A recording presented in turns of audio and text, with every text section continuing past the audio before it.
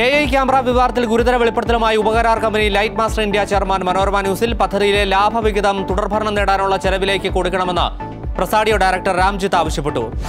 K phone പദ്ധതിയിലും വലിയ അഴിമതിയെന്ന് പ്രതിപക്ഷ നേതാവ് ചട്ടം മറികടന്ന് എസ്റ്റിമേറ്റിലും അധികമായി അഞ്ഞൂറ്റി ഇരുപത് കോടി രൂപ നൽകി.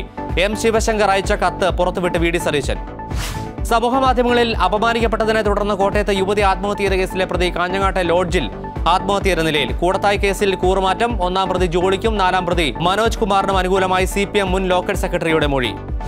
ഡൽഹിയിൽ സമരം ചെയ്യുന്ന വനിതാ താരങ്ങളെ പുരുഷ പോലീസ് മർദ്ദിച്ചെന്ന് താരങ്ങൾ ലജ്ജാകരമെന്ന് രാഹുൽ ഗാന്ധി. യു പിയിൽ വീണ്ടും ഏറ്റുമുട്ടൽ കൊല. മീററ്റിൽ ഗുണ്ടാ നേതാവ് അനിൽ ദുജാരയെ പോലീസിന്റെ പ്രത്യേക സംഘം വധിച്ചു. മണിപ്പൂരിലെ സംഘർഷ മേഖലകളിൽ സൈന്യത്തെയും അസം റൈഫിൾസിനെയും വിന്യസിച്ചു.